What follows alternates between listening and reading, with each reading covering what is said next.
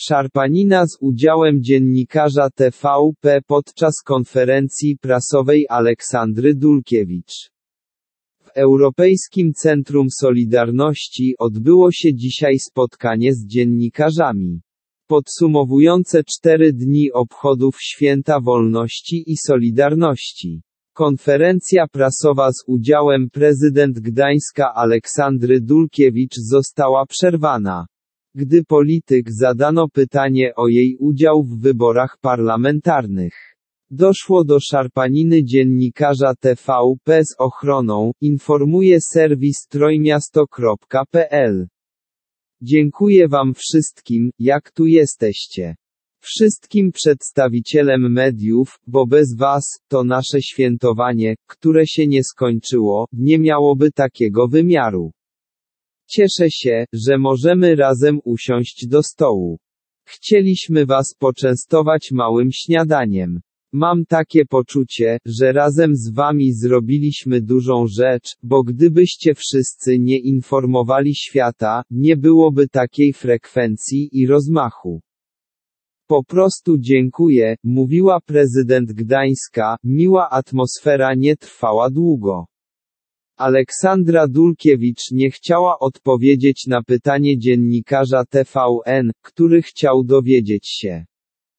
Czy prezydent Gdańska wystartuje w jesiennych wyborach parlamentarnych? Chwilę później to samo pytanie zadał Jacek Łęski z TVP. Polityk zaczęła oddalać się od reporterów, jednak Łęski podążył za nią.